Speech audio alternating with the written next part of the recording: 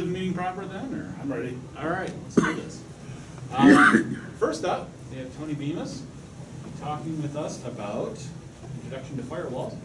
Um, One thing is very common about both of these presentations, both of these are, are, I know Tony and my attempt to uh, hone our presentations for Penguicon, which is coming up at the end of the month.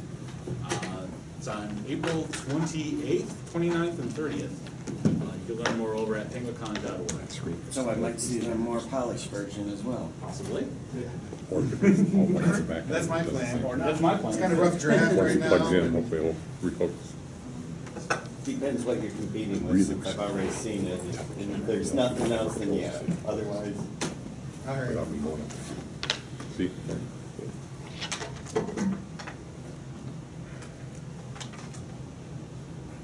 My laptop doesn't die in the middle of Next, this. uh, Weekend this month. All right. What's the twentieth one? Oh, you did? Oh, I didn't hear you, sorry. Sorry. I need to get this stuff on.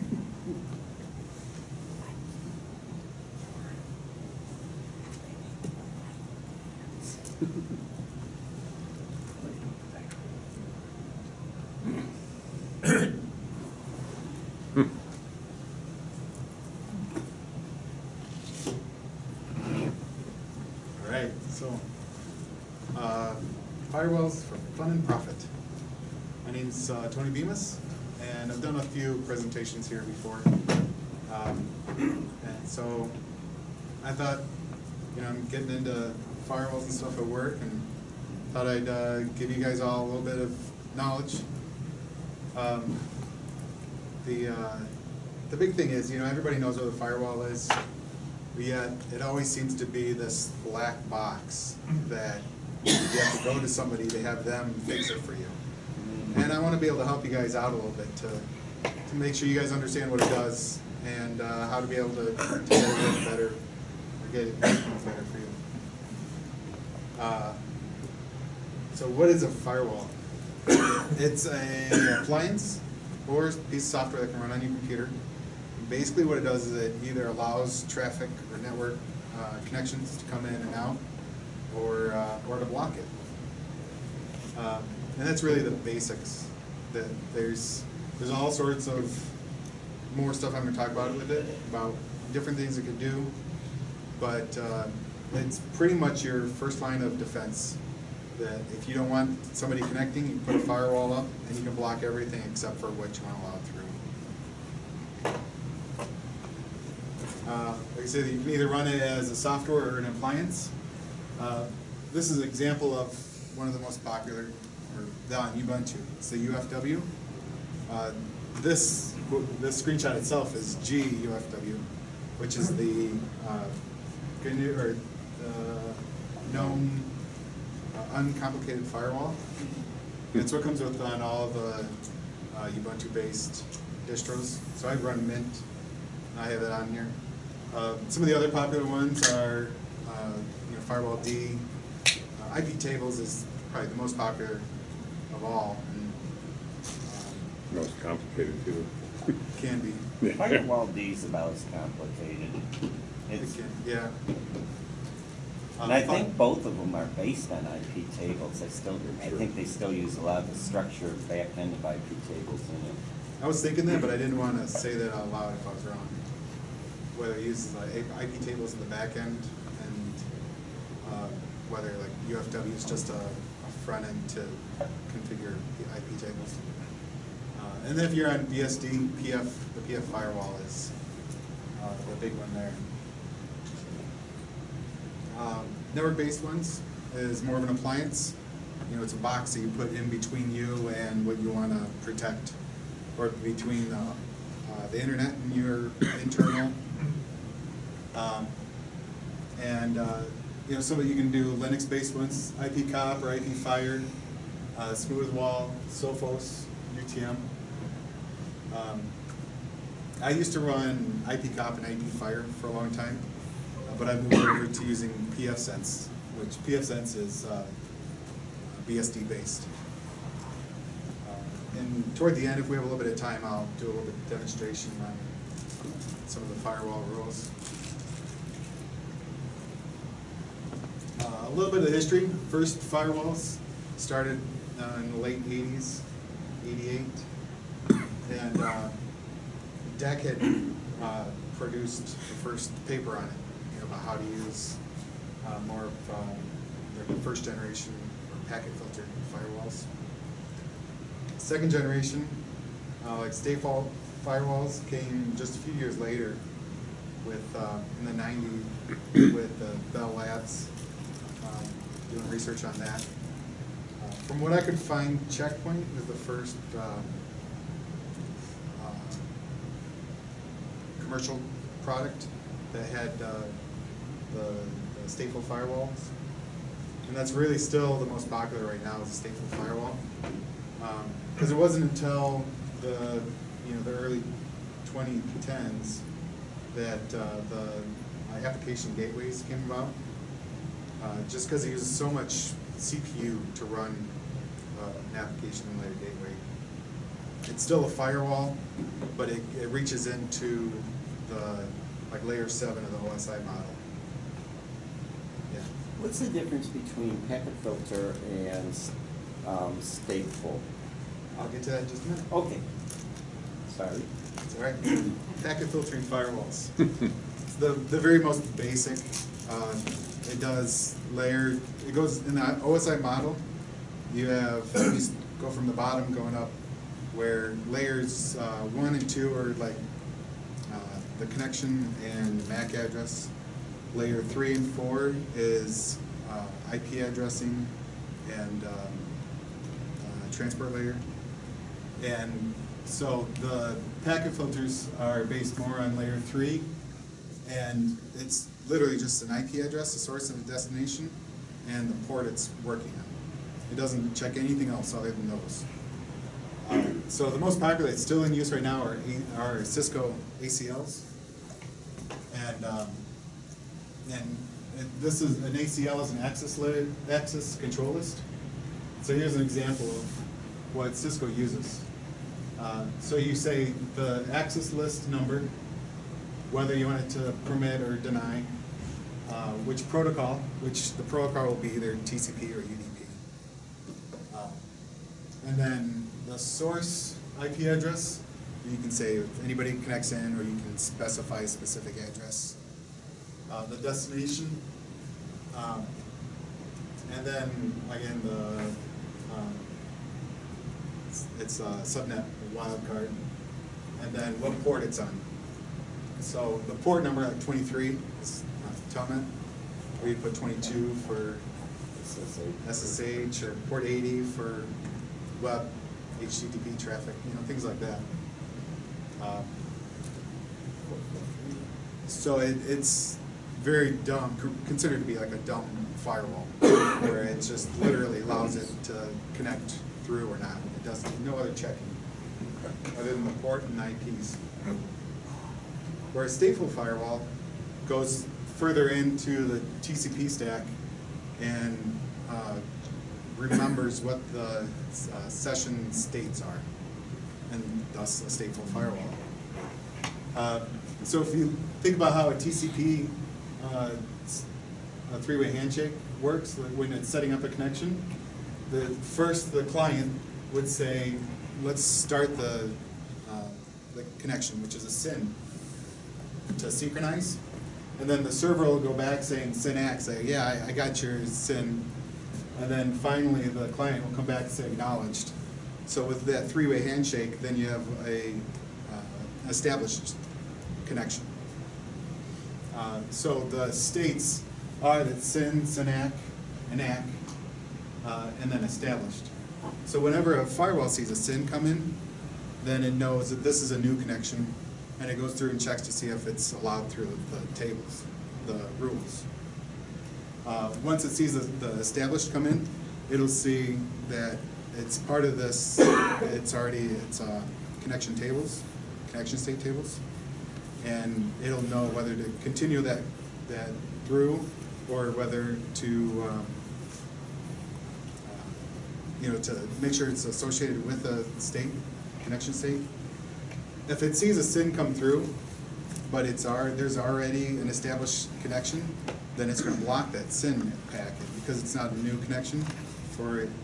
And that's, that's the way that some uh, hackers will come in and try to start a new session, but with an old session number and, uh, um, to try to take over the uh, sessions.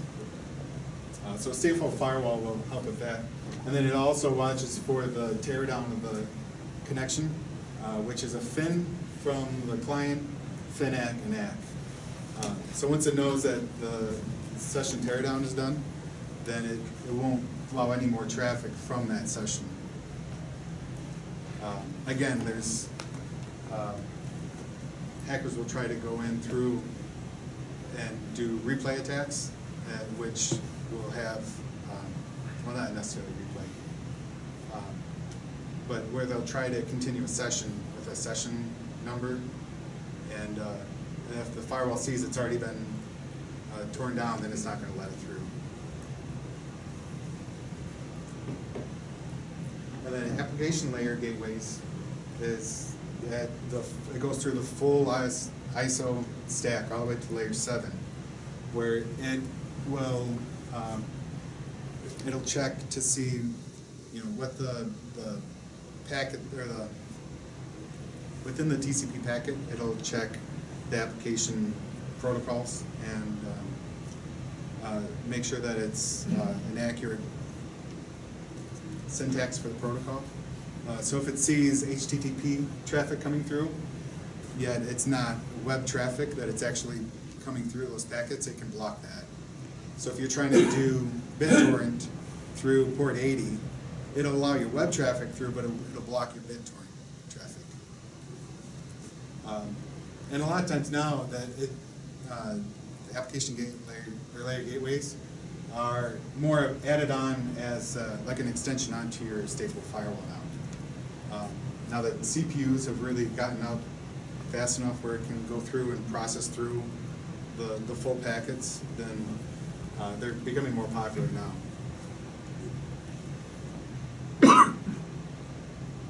So, who should be using a firewall? Everyone. Yeah, That's right. Your home, yeah, every PC, every computer needs to have one. Um, So even though you have a firewall on your, uh, your laptop, you know, you still need to have one on your, your home network. Um, Luckily now, it's becoming more popular where the ISPs modems that they're sending out, is a modem and a router and a firewall built in. So you're, you've got a basic layer of protection at that point. Um, But there's a, there's a, a lot of limitations to what you can do with those routers. Uh, So you want, what I suggest is to be able to run your own router inside that, for a couple reasons. One is that if your ISP is supplying you the equipment, then they most likely have a backdoor in, so they can see if there's people, or how many computers you have, what you're doing on them. Uh, So if you put your own firewall in there, then it blocks their access also. Hmm. Um, I know that ATT does that with Uverse, because I have, um, well, I've had a few friends that can- said that when they called in for support, then they could say, well, I could see that you have, you know, your three TVs turned on and four other Mhm. computers, and that's why things are running slow. Hmm. Um, What? In my case specifically, they, I had a wireless uh, adapter for one one of my TVs, and it always four forwarded through uh, 443 to that, and I could never change 443 to my own server. Um, And so that was just a limitation I, I couldn't change because that was something on their equipment. Uh, so I had to, instead of using four forty-three, I had another port, four forty-four. Um, uh, Now I switched over to WoW, and I don't have that problem anymore. Uh, So, Wow, I got access to the firewall in the gate. uh, so, moving on, so creating firewall rules. That's true. Uh, your, your basic rules is, needs to have a source and a destination, and it needs to have a protocol, so like TCP, UDP, or ICMP, and it needs to have a port or service that it's gonna be running on. Uh, wildcards and supernets are acceptable, so you can say anything, to anything, allow it through. Um, And then it, it also pays attention to the direction of the traffic. Uh, So if traffic is going out, you can say anything from internal my network can access anything outside your my network. Uh, And it'll allow you to get out to the internet and do anything you want. But it'll block anybody creating new sessions trying to come in. And that's actually typically what most firewalls in your home will have. It'll allow anything to go out and it'll block everything from trying to connect in. And that's also where uh, session states, the, the session of the, of a, uh, the states of the stateful firewall, it'll see that you've created a new connection going out, and that's an established session, and it'll allow the traffic back in. But if you tear down that traffic, or that, um, that session, and the server, or somebody spoofing as the server tries to come back in with that session, then the firewall will know that that session is no longer valid and block it. Um, And then the other thing to remember is as you're looking through the, the list of rules, it's always applied from top to down. So if you have a, a rule at the top says block everything, but then the rule below it says allow everything, it, it's never gonna get to the allow everything, because it's being blocked to, to begin with. Um, So here's a couple, uh, examples of some typical firewall rules. I, I pulled this right from my pfSense. Uh, So if you look on the LAN interface, the first two, there's a but the first two goes, we're gonna allow TCP traffic, the source is anywhere in my LAN, going out anywhere. Uh, Or, or no, I'm sorry, port anything, going to the local IP address of the firewall on one of these three ports, so 80, 443, and 22. And that allows anybody from inside my network on, uh, like the known uh, network site segment, uh, say it's 192.168.1.1 is the, uh, is my network. Then it'll allow anybody within that network to connect to the firewall and, and do administration. But if somebody changes the IP address to, and like uh, statically sets something else, uh, it won't allow those connections.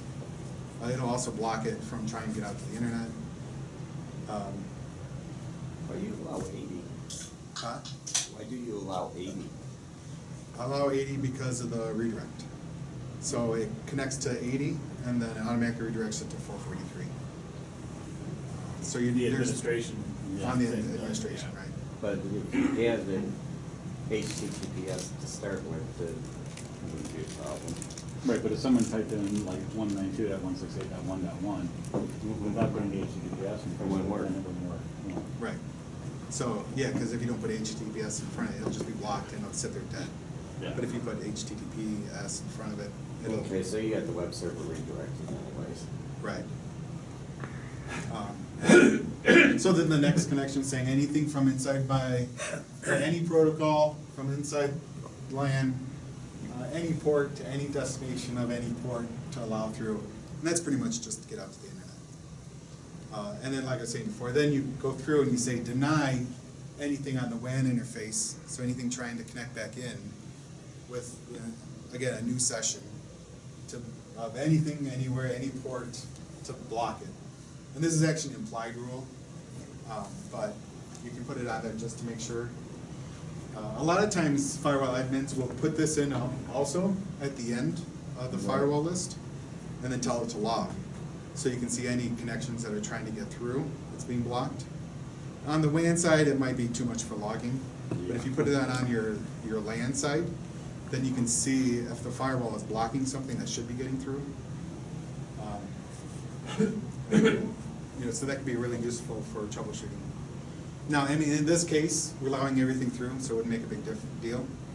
But if you were being very strict on your, your rules and saying only connections from four forty-three out or in eighty out and block everything else, then you, then you put in the block everything else and log it, then you can see whenever you have any uh, device is trying to connect out on something other than those two ports, it'll log it. And then you can identify whether you want to allow that traffic or whether now you know your IoT device is trying to connect out on some other port than That, you're those two. wanna allow more. Yeah, I mean, yeah, it, it's just uh, an example. Um, These are a few of the sources. A lot of this I, I wanted to look up so I wasn't telling you guys wrong information. It, it's just stuff I've gone through. Uh, DigitalOcean, I, I run across so many of their how-tos. It really is helpful. Um, A lot of it, and, and they have things for Ubuntu-based servers and, or things for uh, Red Hat servers. Uh, So either way, they're, they're really good tutorials. Um, I'll give an example. How much did how much time have I used? Not much. Twenty minutes? No? All right, well, this good. So.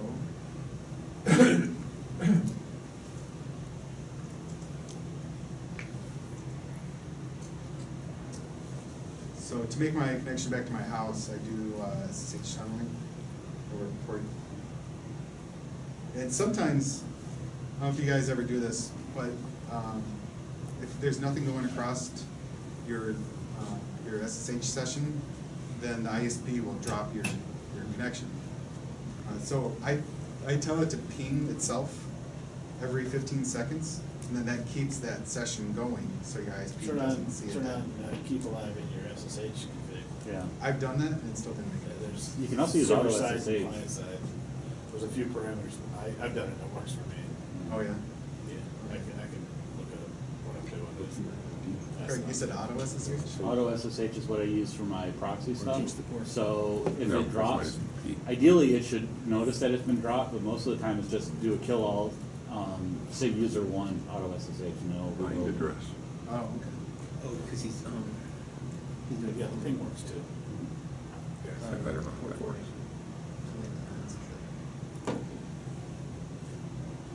Because I use my SPL, SCP and SSH.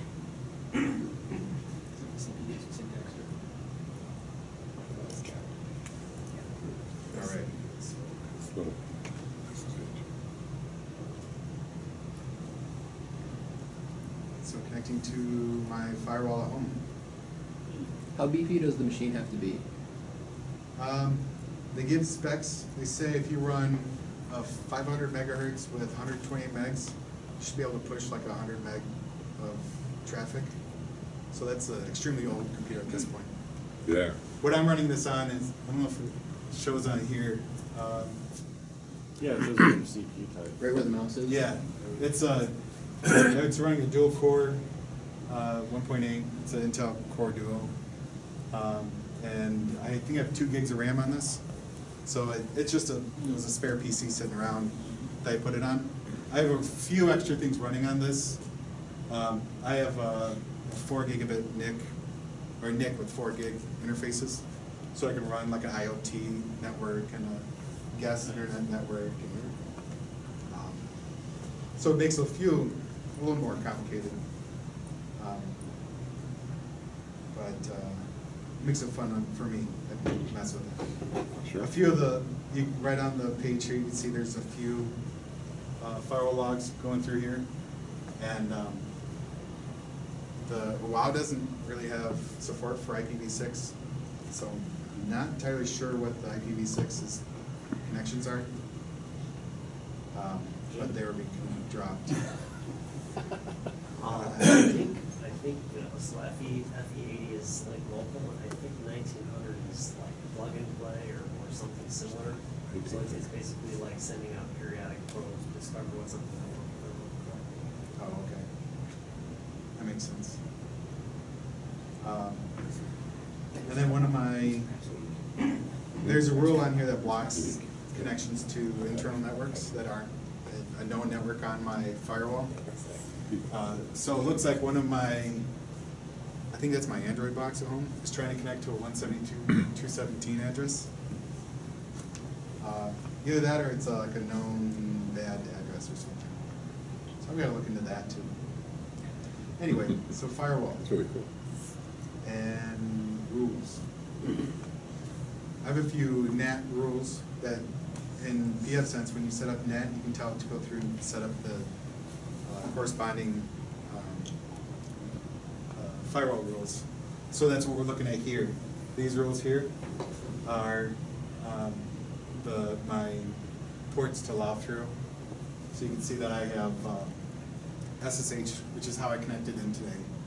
And then uh, 443 is my Nextcloud, and then I have uh, Plex also running. Cool. Um, And then, so we're looking, I'm sorry, if we look at the top, you can see WAN is underlined. So we're looking at rules that are associated with the WAN network. Um, And what I was saying is that the, the blocking the internal network addresses that aren't internal, that aren't known on this device. And that's what the first two rules are, are set for.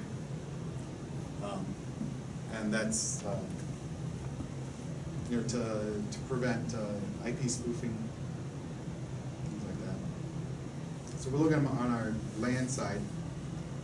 Um, You can see that, just like how I showed in my example, we have the anti-lockout rule, and then we have uh, all internet traffic. So we have two of them here because there's one for IPv6. Uh, Again, I said it's not being, it's not really not being used, but um, that's what we have. Uh, If we look at our, my other networks, there's um, so what I did, I set up a few rules on the rest of these.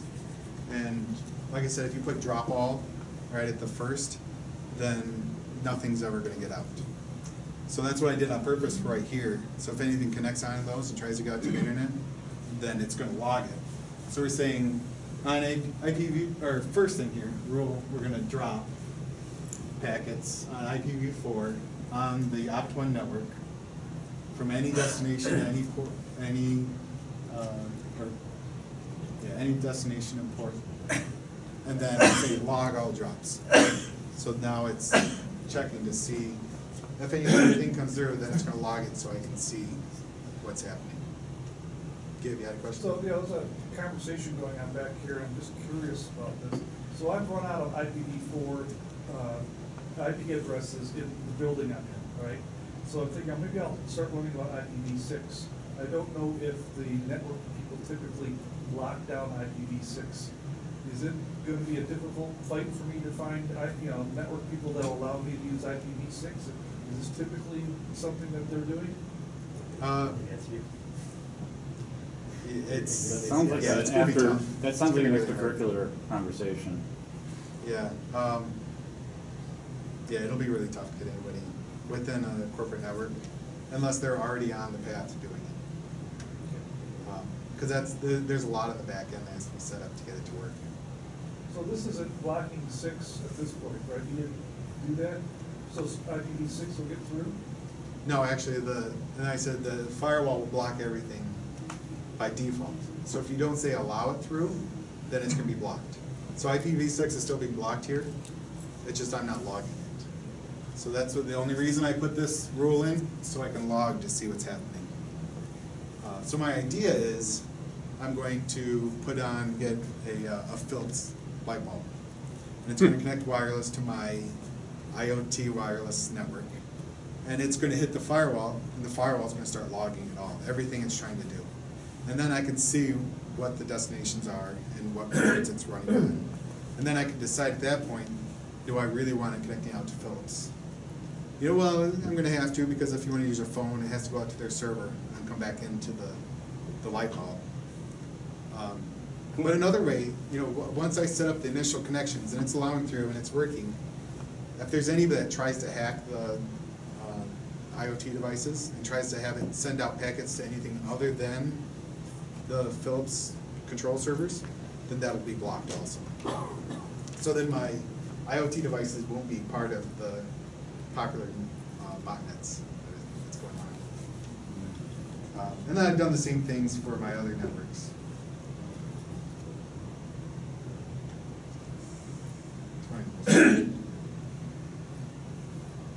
Um,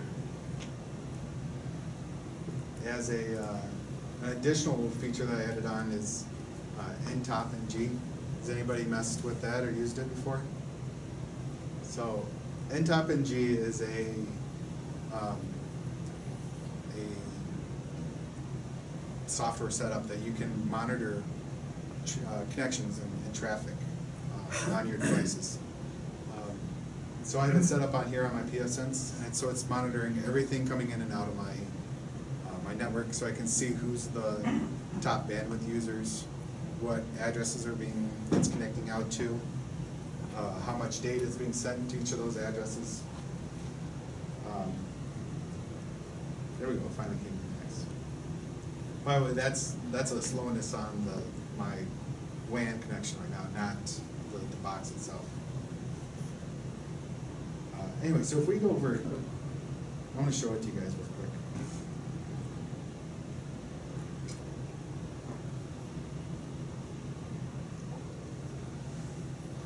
It's pretty cool. I set it up just the other day, so I don't know all about it yet, but I just thought it was cool.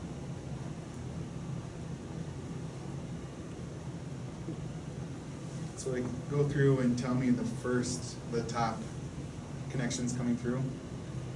Um, Which, it's telling me that somebody from that uh, Verizon network is connecting through to my Plex server. So somebody's streaming the video right now on my Plex server. And uh, I have an idea of who it is, but because I only allow three people to connect in, uh, but I can see, and then I can follow that connection and see how much data they're using. Um, And that's actually, we, we scroll down a little bit, I don't know if you guys can see down here. You see my outgoing is, it's using three, almost three meg, or two and a half to megs of data. Um, so you know that's, it's gotta be a video streaming, otherwise, it's normally like the twenty K or something. Um, And it logs, so you can go back through and look back on history of how much is being used. So now I can say, let's look at my interface. EM zero is my WAN interface, I believe. Um, Now let's look at the graph. And I can see that it's been happening for the last ten minutes or so, less than that. So somebody just started watching a video a few minutes ago. Um, You can connect on it, and then it gives us a little bit more of who the top talkers are down here, more data about the connection. It like zooms in. Um, So I just thought that was cool. Mm-hmm. So that's, that's what's, one nice thing about pfSense, is that you can add things like this, you can add a lot of different plugins to pfSense. A majority of them I don't agree with, you know, running a file server off of your firewall Hmm. usually isn't a good idea. Um, But there, I mean, there's a few that are handy, you can torrent right off the firewall, run your torrent server from there. Um, There's plugins for, um, for uh, IDS, or IPSs, uh, and it's intrusion detection systems, like Snort. I have it plugged in, or turned on in here, well, actually, I have it turned off. When I had, when I turned it on and turned on all the features, then all of a sudden, Netflix stopped working, and, and my wife was upset, so I had to turn that off. I didn't have time to to troubleshoot it. I noticed you also had OpenVPN on there, Yeah. which made me question why you weren't using that instead of SSH, but Uh, Because the OpenVPN, I haven't created my own keys yet for it, Okay. to connect in. that's a good reason. Um, I just switched over to this box a few weeks ago, and I just haven't had time to do it. Uh, The other thing is you can have a, uh, you can set up uh, OpenVPN uh, endpoints. So I can tunnel all of my internal network through an OpenVPN to exit out somewhere else. Uh, So it's really handy for businesses to do point-to-point VPNs. Uh, You can do IPsec tunnels and and other things like that.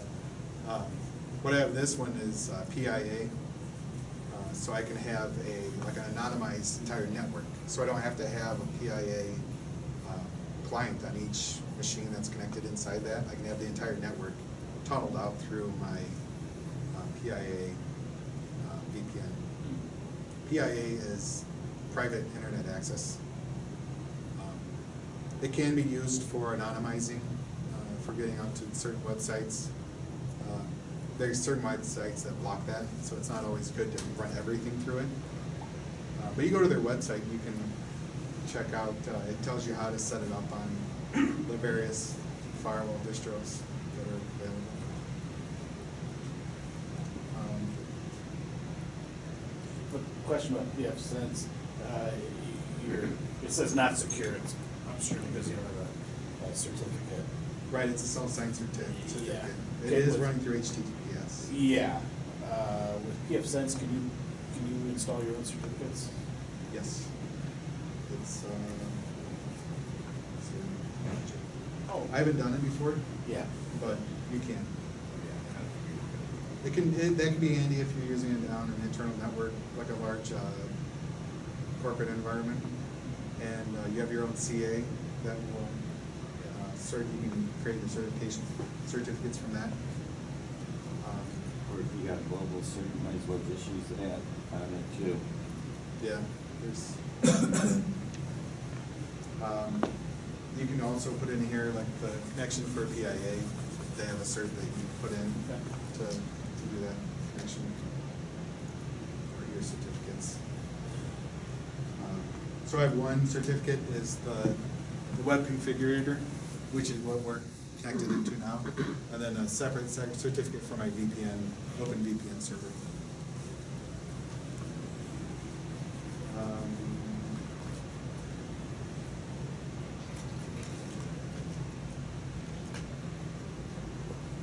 I don't know. I guess, uh, I guess that's about it. Is there any questions? Bored everybody to death? No, not at all. Good? I'm just curious about how much time, um, so, you know, I'm sizing the time, right? So much effort is involved, putting a firewall up and monitoring and that type of thing. Um, Being, the, being this is the fourth time I've set one up, I went from a blank box to plugging it in and having it working in about a half hour. Uh, Wow. That's including the install of pfSense and then typing in the IP addresses. Now, it took a half hour and I had four networks to configure. Uh, You could probably do it shorter, but if it's the first time going through it, just work out about an hour. Well, um, how would you suggest that we learn about the Do, I, I- I don't know if, you're setting up and then having your wife complain that something doesn't work.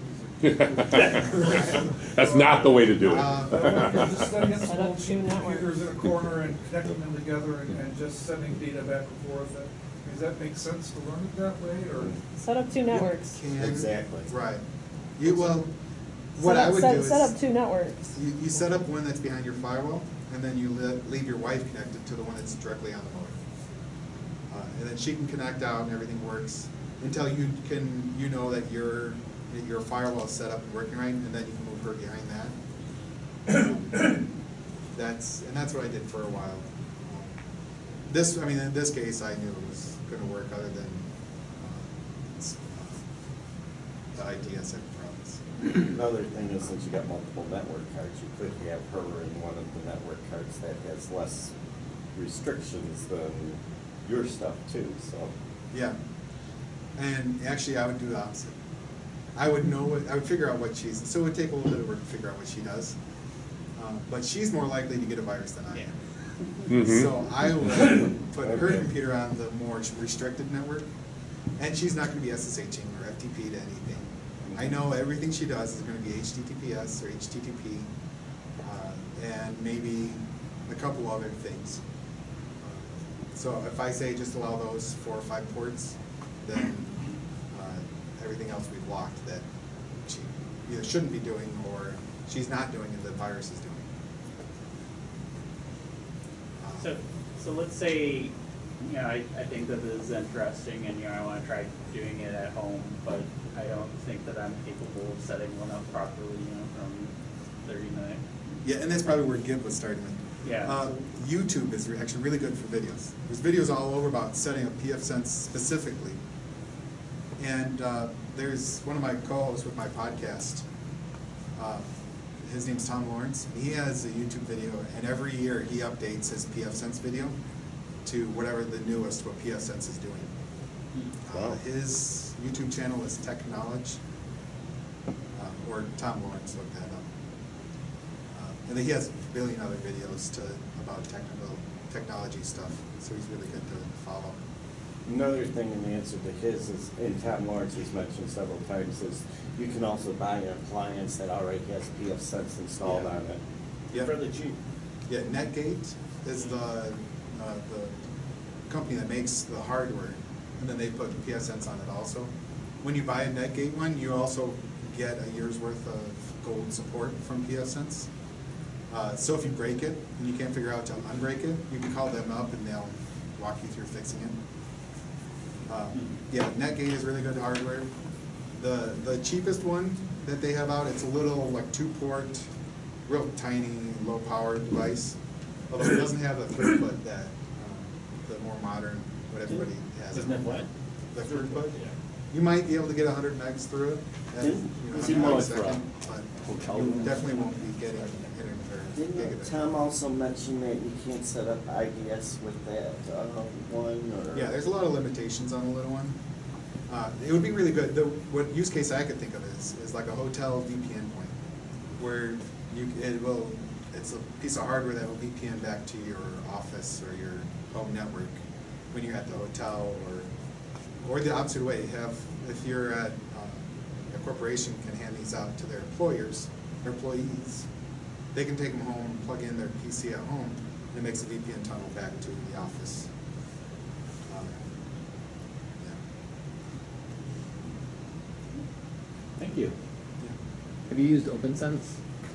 I have not. I was actually debating on doing OPNsense last time.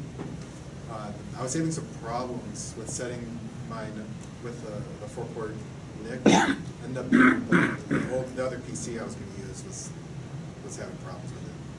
So I switched PCs and the pfSense came out fine. But OPNsense is, uh, is a fork of pfSense. Um, I saw it being developed, and it's, you know, there's, what, two versions available now, or a second version of it, but I haven't, um, really looked at it much. Thank you. Yeah.